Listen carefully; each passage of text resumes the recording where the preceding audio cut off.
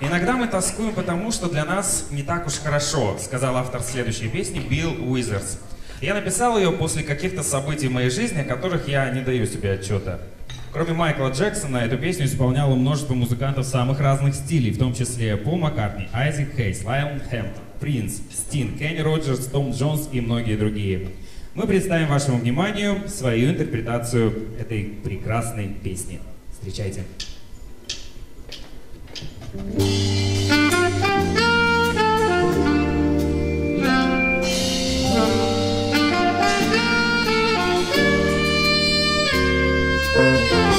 E no sunshine when he